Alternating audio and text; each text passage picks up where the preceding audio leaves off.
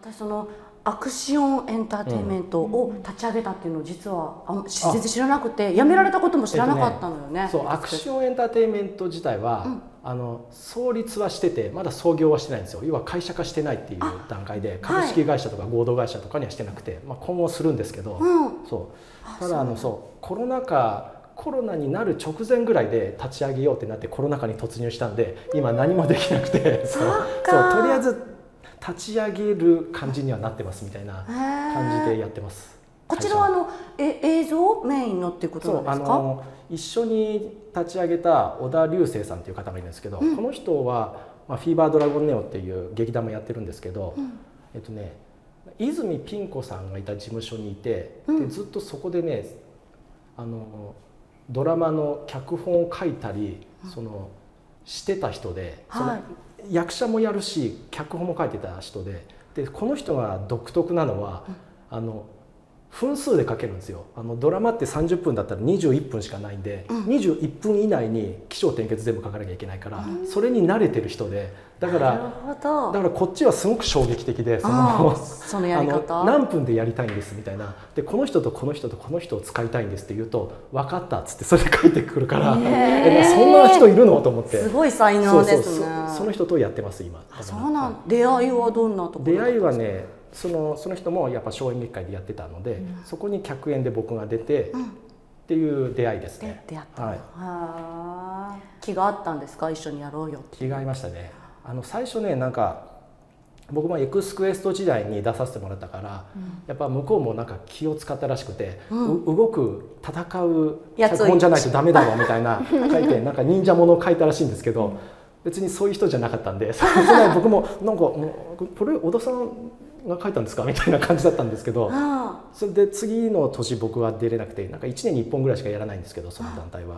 次に出たのがね医療もののすごいゴリゴリの医療ものだったんで「え。これえ？みたいな「小田さん書きました？これ」みたいな「なんで去年忍者もの書きました?」みたいな話になって「いやむしろ俺こっち側だけど」みたいな「じゃあちょっとそっち側で一回書いてもらっていいですか?」って。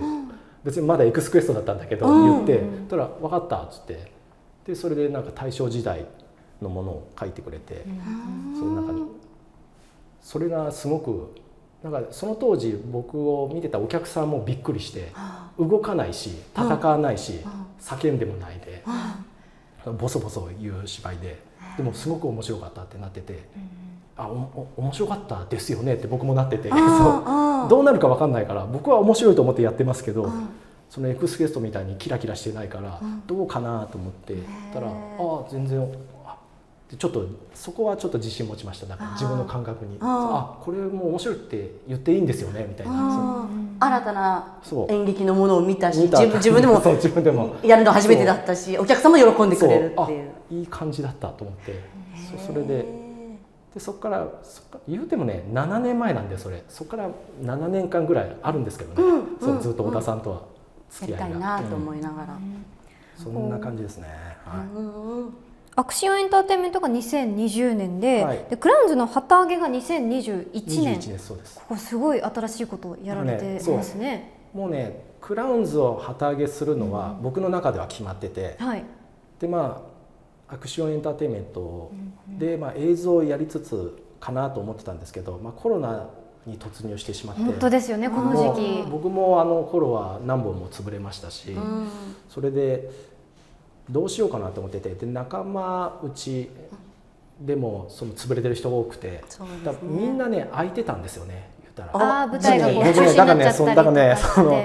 コロナはある種僕はもちろんそのマイナス面はすごく大きいんですけど、うん、クラウンズの旗揚げ公演できたのはコロナ禍だったからなんですよ。その人気の方をね、人気の方,、方をね一気に集めれたんで、みんな空いてたんですあの時。それだけこうひどい惨状だったってことなんですけど。そんなことあるみたいなメンバーが集まってくれてそれでできたんですけどでも本番もねあのがっつり第3波とかだったんでそうですよ、すごい惨状でしたけどね。一応できましたけどもうもうそうねお客さんの入りとかがってことだね。だからね完売したのにマイナス何百万みたいな話してそう。だからでもねそう、うん、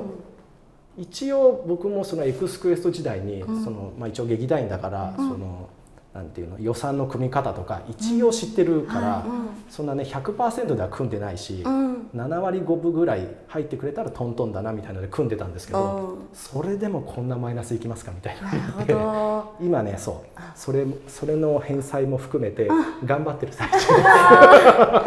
だから 新新車が買えるぐらいと小耳に挟みまし、ね、新車買えるね。新車のいいのが買えるやつでもその20年ぐらい演劇やってきて、ちょっとずつだったけどその貯めた貯金の分だったから、もう2回目それを食らったら役者辞めるんですけど当然当然辞める赤字なんですけど、は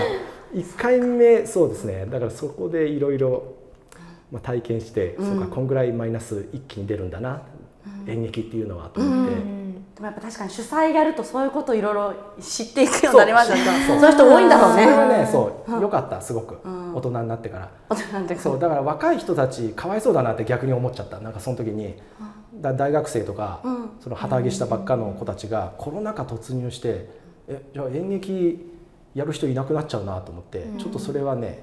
困ったなってね、自分が困りながら思ってます、ね、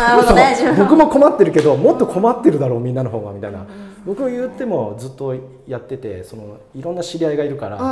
だ誰かしらがいや一緒にやろうよって言ってくれてそれすごくありがたくて、それはお金で買えないものだから。だからまあお金で買えるものはお金で買った方がいいけどその若い子たち人脈はお金で買えないのでそれはねすごく僕は心配してます。だからそういった意味では。だなんとか僕もオーディションとか自分でプロデュースしてその若い人たちにこういう僕ぐらいの40代ぐらいの人たちと知り合ってほしいなぐらいのはちょこちょこやってるけど一、うん、人は限界あるんで。そうですね、うん、今でも私たち世代がさ、うん、結構そういうの若い世代と交流持ちたいって言ってやる、やり始めてる人がねだんだん増えてきてる気がするから、ね、なんかねそれも僕コロナのいいところだったなと思ってなんか結構フラットになった印象ありません？なんか演劇が。なんかその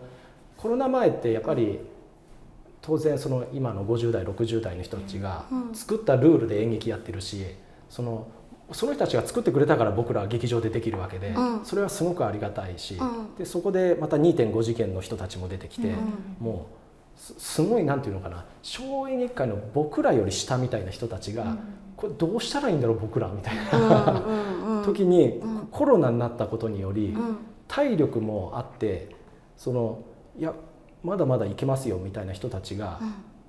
チャンスとまでは言わないけど、うん、その機会が増えたなっていうのは今思ってます僕は。確かにそう。かもしれないと私も、うん、あと声を上げやすくちょっとこれに困ってるとかそう上げやすくなった、それは、これが大変っていうのが結構みあの共有しやすくなったのかなと思って、それはありますね、そうだから僕も一人でプロデューサーやってるんですけど、だ知り合いの人たちには別に僕の人脈とかでなんか紹介できる人いたら言うんでみたいな言ってます。いろんな人に。で今年それで旗揚げする人たちもいるしそうよかったねとか思うしすでにアドバイスをいろいろされてるのね、う。ん、うん、大切ですね。でも僕ができるのって別に演劇本当に知らないから、うん、そんなね演技がどうとか言えないからそそんぐらいしかないんですよね。結局僕がそのプロデュースもこの人たちを集めたいとか、うん、この人とこの人を共演させたいとかので僕もスタートしてるから、うん、そう。だから